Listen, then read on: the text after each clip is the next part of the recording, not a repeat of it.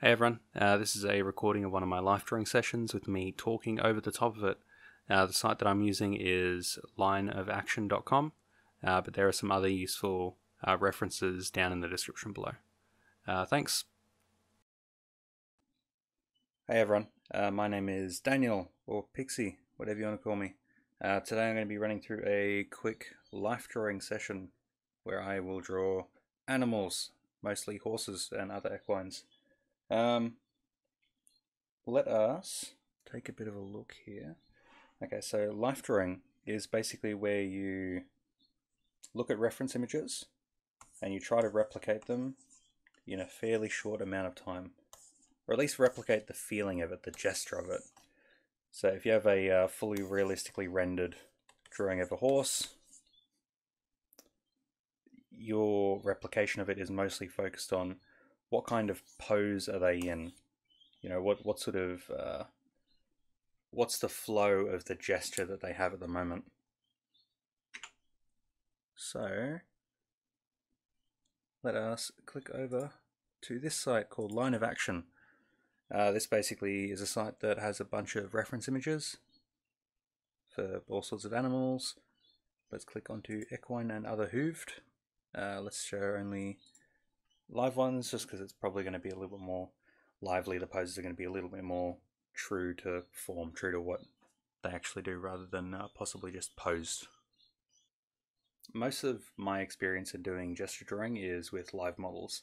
So me and a bunch of other artists will go to a uh, specific location uh, with a model. Uh, the model will run through poses starting off with a minute, two minutes, five minutes, and then working up to say 15, 20 minute poses.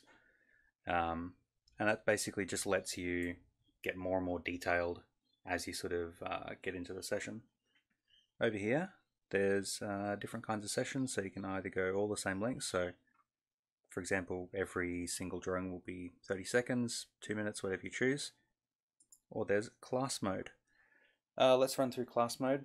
Um, let's go for half an hour. I don't know if I'll actually record for that long, but 10 poses, 30 seconds, 5 poses a minute. Yeah, something like that sounds good. Okay, let us have a look and get started. Alright, so I'm just going to have the uh, actual life drawing uh, poses down here in the bottom corner for you so you can see what I'm drawing. Let us get started. Okay. Oh, I'm wasting a lot of time here.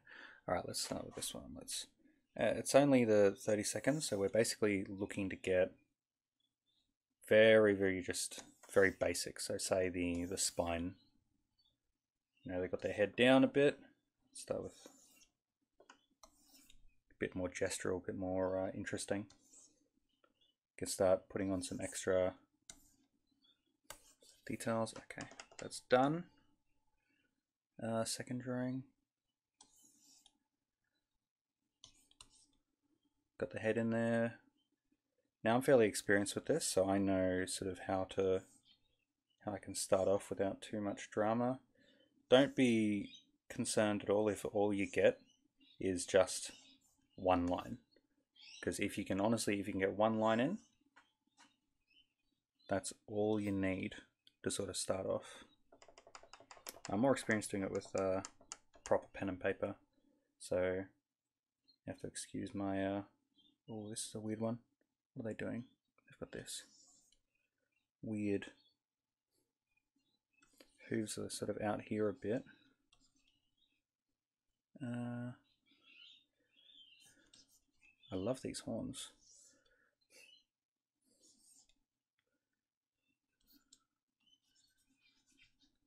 Okay, uh, let's figure out how to actually move around in this. Alright, I am back. I now know how to move the canvas. Uh, I've also moved to a different kind of a brush. Okay, let's let's go 12 seconds. Uh, so the basic goal with gesture drawing is to basically uh, is to loosen up and get a better feeling of how you can make poses, uh, how, you, how you can replicate poses that look expressive. Basically, the short time frames are to, in a lot of ways, just loosen you up.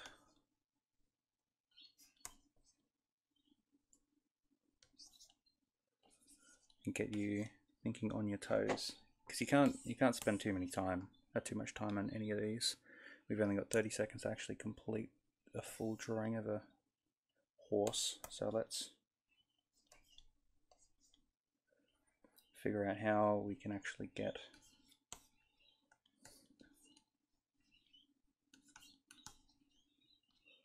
the most amount of the horse down shortest of time. That is horrendous, but it's not the point. The point is to try out different stuff and learn. Ooh, I like that. Let's go a bit more for the overall.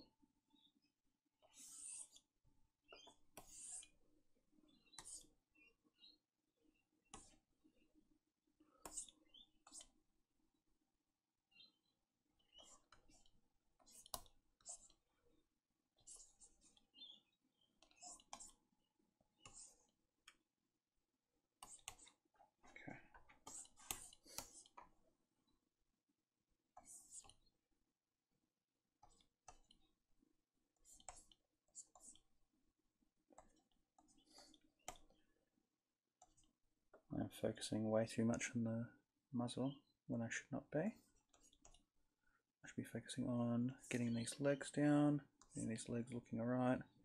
What's that? That's something along these lines. Okay. Oh, this big white horse.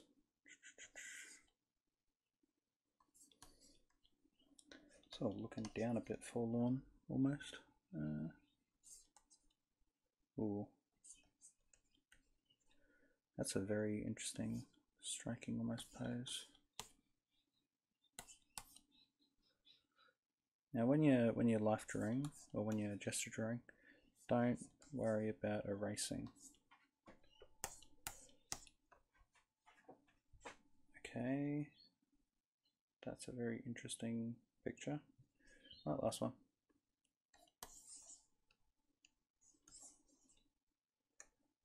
Horse is fallen.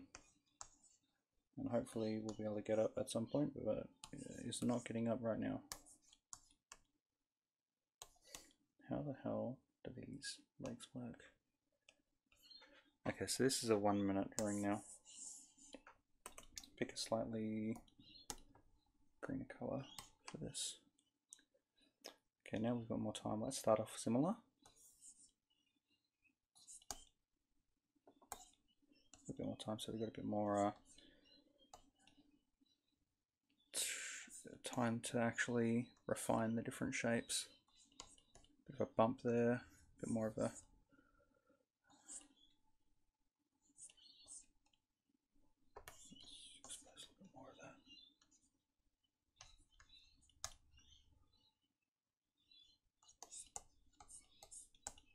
Sort of leaning in here a.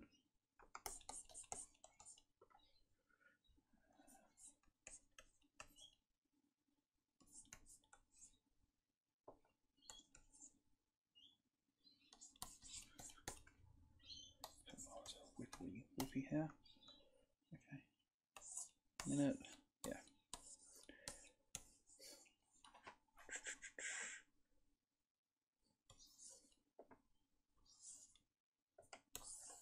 Let's draw big. Draw big. Bit, bit of a boring uh, pose, but we want to get down the feeling of it more than how it actually looks.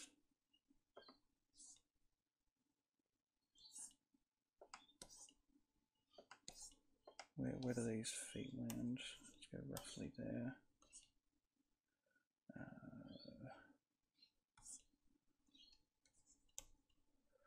There. Okay.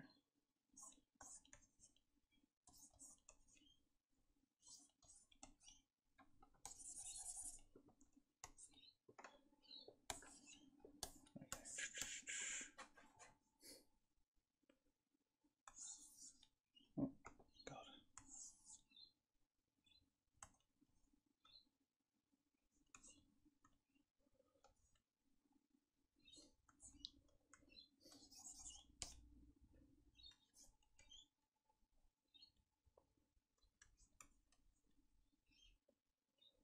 So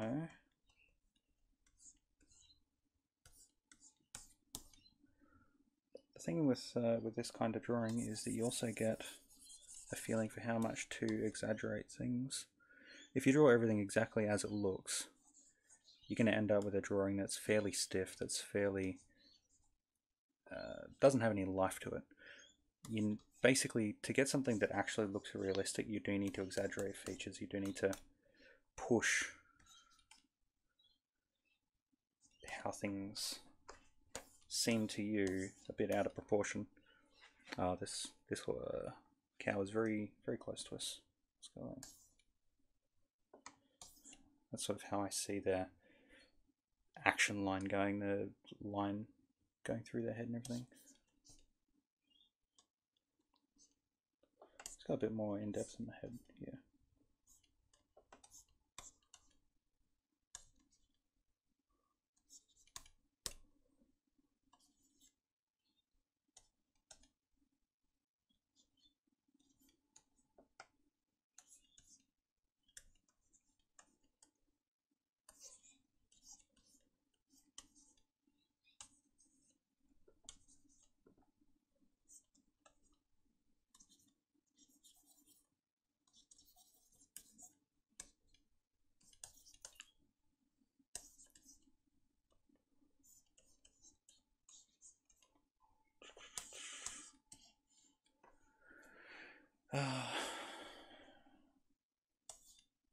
lots of lots of close-ups. Let's let's instead of starting at that, we'll start with uh, this kind of a head. So as you go through your life drawing session, it's a fact that you'll, or as as you as you uh, go to more and more life drawing sessions, or as you run your own life drawing sessions like this, you will over time get to know what kinds of simplifications you like to make. What, how do you like to kind of focus yourself? Do you like to focus on the uh, overall line of the figure? Do you do you like to focus in on some specific bits of anatomy, and you feel like that's uh, the best way to sort of get your vibe of the pose going? Five minutes, okay. Bloody hell. Now we have a bit of actual time to do some stuff. Uh, no, let's go for more of a yellow. More of a yellow. Oh, that's pretty.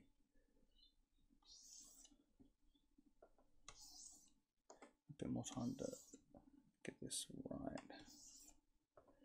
Now, when I'm actually drawing in a pen and pad, I would just like go over my old stuff a whole lot. Um, let's let's do that here actually bit of a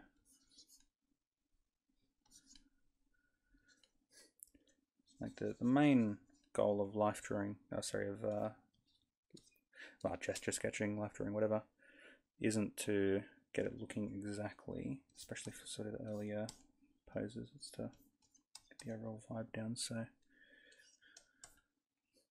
so I know that when I draw horses, I tend to break it down into sort of this shoulderish area that is a big hoof, large hoof.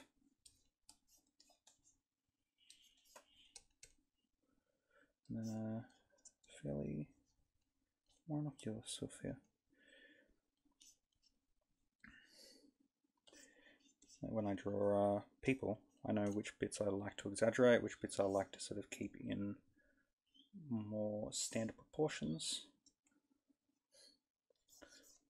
how I end up and, and how I end up uh, how I do end up uh, making those decisions is kind of helps me work out my style I think. I don't know if this is useful at all but if it is yay. And as as the sessions get longer or as as the um, amount of time you have for each drawing gets longer you also uh, start to kind of figure out what do you like including or not including. Like I know people who go really in depth with the head always. Uh, that's that's usually me. I, I try to go super in depth with the rend rendering of the head when it comes to people at least. I haven't done any actual physical drawing sessions with horses because it's uh, very difficult to get a horse to stand still in a place fairly close to where I live, which is not near many horses. Uh, so now I'm kind of at the stage where I've got most of the drawing in. So let's cut back a little bit. This is me using an eraser, sort of if I'm uh, working on it physically. Or if I'm working it physically, honestly, what I would be doing here is I would be not drawing it as dark because it's a uh, Clip Studio Paint. I need to uh, do everything with the same opacity. With this pen. Uh, uh, I need to try some different stuff.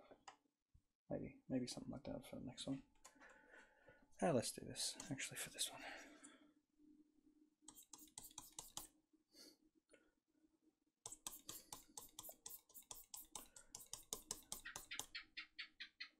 That's the cool thing with uh, gesture sketching and life drawing in general. Uh, at least for me, gesture sketching is just a kind of life drawing, a specific focus when you're doing life drawing, especially the shorter limits. Should, sorry, the shorter lengths of time. Uh, when I'm doing this, you know, with my pencils and stuff, I really like having a couple of different uh, mediums and just switching between them a whole bunch. So I'll carry uh, around some Tombow markers, I'll carry some uh, uh, water, uh, sorry, some water brushes and a little tin of liquid graphite or something like that, or, or water soluble graphite. And I'll switch between the different kinds of mediums as I sort of go through each session. Sort of get the feeling that he's actually off the ground. Yeah, I think that's reasonable. Perfect? No. But to be honest, the goal isn't to get things looking absolutely perfect. The goal is to get a bit of a feeling of how to loosen up. How do I look at something like this pose that's just popped up? I don't know. What button is that? Uh, how do I look at this kind of a pose that's just popped up and sort of get the feeling of it down without it looking super robotic. So big wide gestural strokes. Something like that might work. Oh, oh, oh, don't do that. Oh my gosh. Okay. Uh, bloody hell, that, that does not look like the head that I'm seeing at all.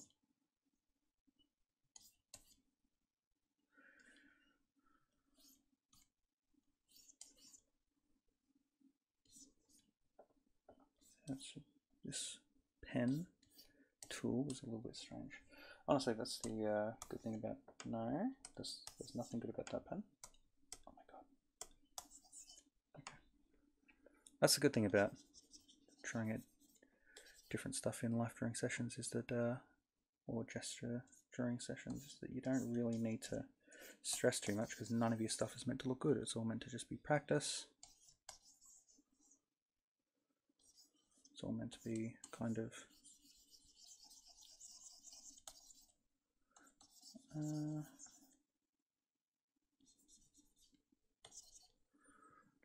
just for learning, just for sort of seeing how things go, and so it doesn't really matter if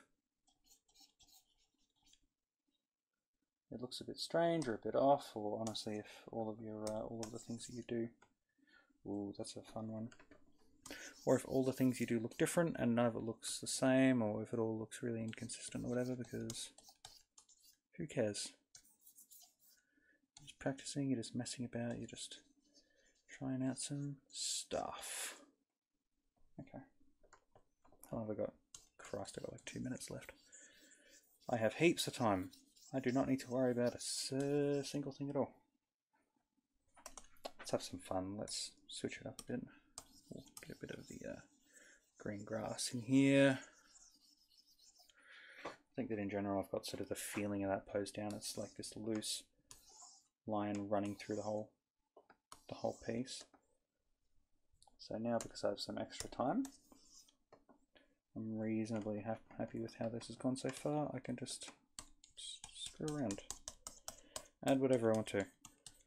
And this is kind of, for me, where it can get to uh, looking fun and uh, looking like something I want to keep. So once I'm done, once I've got what I want out of it, I've got the sort of the gestural aspect down, I can dive a bit more into the, uh, you know, maybe adding a bit more texture or a bit more whatever to sort of, yeah. let's try something like that, maybe. Uh, okay, let's let's have a look. On the actual reference picture, there is a bit of a yellowy tinge around here, around here,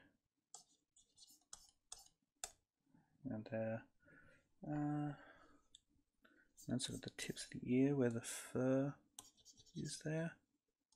Yeah, there's also a little bump there which I haven't got.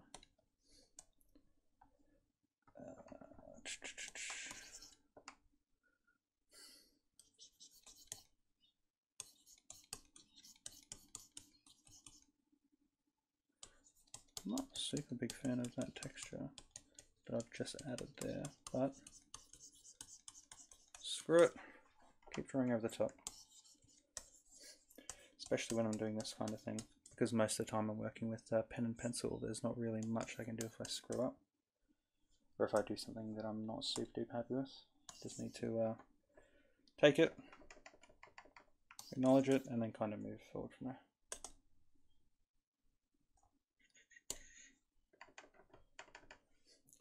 Here's something else I like doing when I'm doing gesture sketching or life drawing in general, is I will be like, okay, so this one took five minutes. I had five minutes to do the picture, so I'll draw five and a circle around it. And this really helps when I'm, uh, I've got multiple things on the page. So these ones, 30 seconds, go all the way over to uh, 10 minutes, yeah, okay. One for one minute.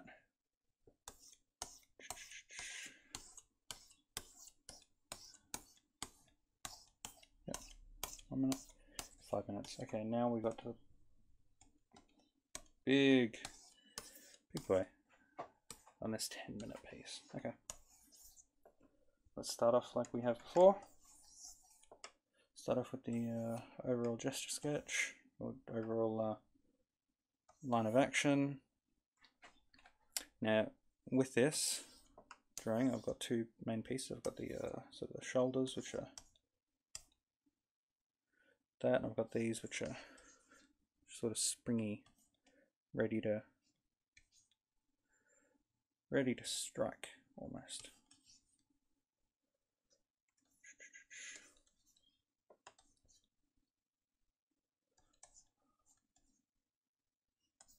This majestic, majestic mane of theirs.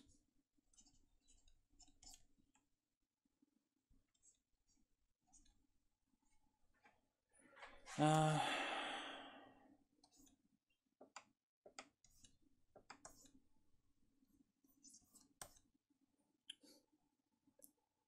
one of the other things to deal with is because you're drawing so quickly, often you'll find that your life or your basic drawing, your initial like rough rough lines, aren't exactly in proportion. That'll just get better over time.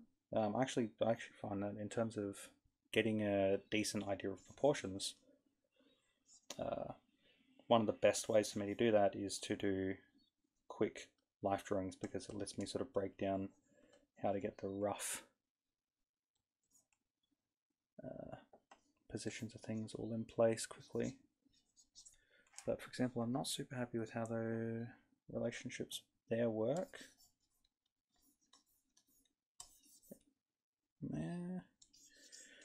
Yeah, honestly, uh, this whole last drawing I'm super not that happy with.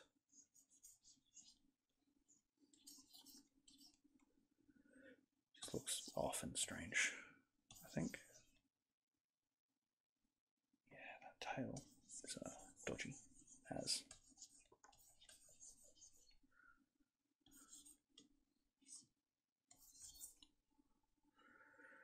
See if we can recover it. If not, that's fine. It's all learning. It's all practice. Little gap there where the uh, comes together. Get less of a gap there. And I can see a little bit of a oh, it's out like that thing there. Ah, let's sort of redo that head for a bit. Got a bit of a uh, downwardy looking thing.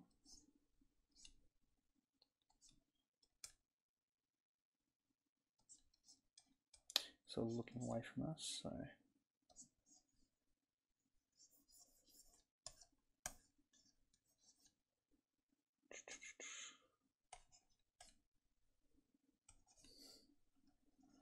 Yeah, when when you're gesture sketching as well, don't be worried to completely scrap and redo everything about what you're doing.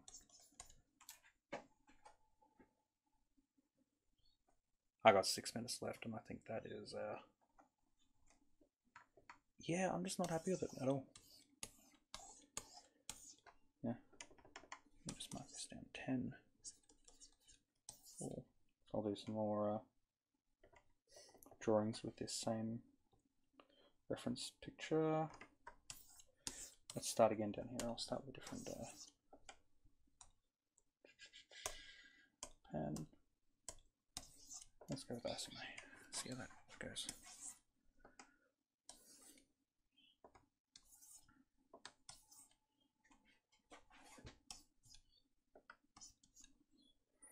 Try some different stuff. That ear is curved in a very strange way. Uh, but the point ultimately of gesture sketching is to sort of work out the different ways that you can solve problems when it comes to looking at poses, looking at how 3D forms are laid out. You know, with this whole body, what different ways can I break it up? Can I break it up in, you know, this section of the body, or can I do it like a bean, or is this uh, whole shoulder sort of the most important part for me to look at right now? There's a lot of especially when you have a bit of a time limit, it sort of forces you to go through, break down a bit more of what is important to you, what sort of are the main parts that you see. And I'll say it takes a lot of bloody time and a lot of bloody effort. This is not something that you'll uh, just try out a few times and be good at, or try out, you know, once a, month, and you know, in a couple of months you'll be great. It'll take ages. It will take a lot of practice and a lot of messing about with getting things wrong and getting things not looking how you want them to. But that's, you know, why I think it's a fun exercise. This helps me loosen. I, I try to do it uh, a, sort of a life drawing gesture sketchy session at least sort of once every well, it depends on how busy I am, but somewhere between like once every couple of weeks, once every few weeks. At the minimum, just to try to make sure that I'm being a bit, uh, that I'm forcing myself to be a little bit loose.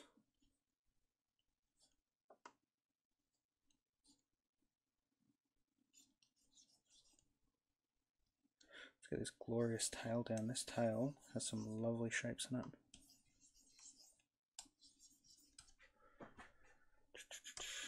This mane does as well.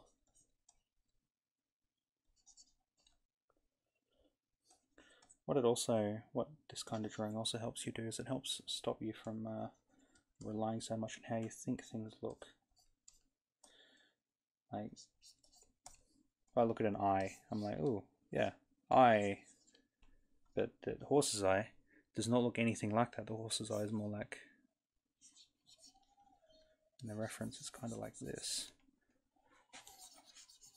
You know, it forces me to have to look at the reference, pay attention to it, sort of see, try to see exactly what I'm actually doing, exactly what the actual reference is doing, exactly how things are shaped. This neck, this neck is so thick. Mine is not. Okay, let's do some uh, adjustments. This cheek. Never really noticed it until I started gesture sketching real horses, but these neck, these cheeks are very bulgy. Okay, that's better. I think I think I'm more happy with this in terms of how this uh,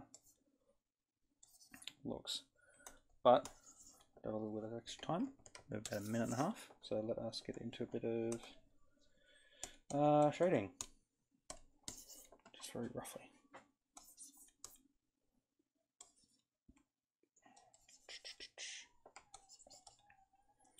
Uh, luckily, because I'm using the computer, I have a bit of freedom to control Z. But normally I do not. And it's just go with your gut. And if it stuffs up, you're stuffed. Or, you know, you try to do some other stuff. Put some other different colors on top or something like that. It's completely in shadow back here. Way in shadow.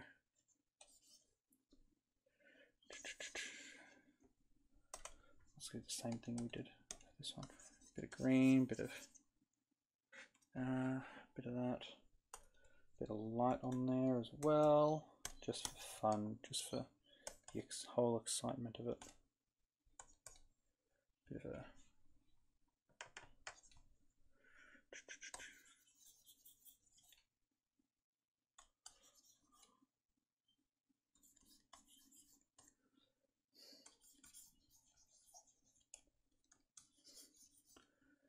Ten seconds. Oh my god, no. Uh, most important bits of light stuff. Okay. All right, that's the uh, session finished.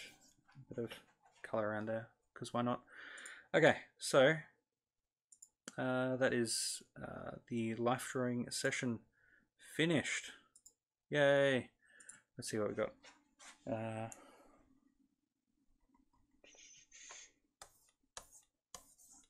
we got first with the 30 second ones. Very, very rough, very rough. So that one you can kind of see uh, the whole leaning to the side, galloping a bit, especially with the uh, this hoof if you see it kind of curling around itself. Uh, we've got this fella here strolling along. This very ill-defined fella standing there. Uh, that's that's fine, and that very fun pose down there. Uh, super duper fun. One minute. One minute you're getting a bit more. I'm getting a bit more uh, structure in there, a bit more actual shapes of the body around. A bit more defined.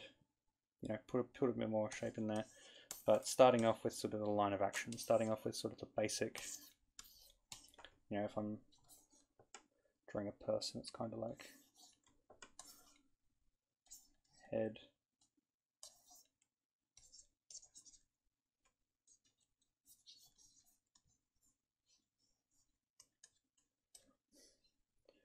Basic line of action might be something more along these lines. That's kind of the equivalent of lines of action for people. But getting a bit more five minutes, sort of getting uh, a bit more. And once you get under 10 minutes, it's kind of able to get two relatively okay drawings of sort of how the thing looks. Now, if I just jump straight into the 10 minute drawing, it wouldn't look like this. It would look stiff, it would look uh, uncomfortable, it would just not look like a pose that a real animal would do. I think this one, this one at the top here, is one that looks relatively decent. These two look relatively uh, fluid, relatively uh, not like they're robots, which is sort of the main point of gesture drawing, of sort of focusing on that, getting the realistic look down, getting uh, opening you up a bit. Uh, so in terms of gesturing, I think that's mostly it. That's just like a little gesture drawing session from me. I'll chuck this uh, a PNG of this, an image of this in the description. Thanks for listening. Thanks for watching. If you have any questions, give us a yell anywhere. Always happy to help. And see you later.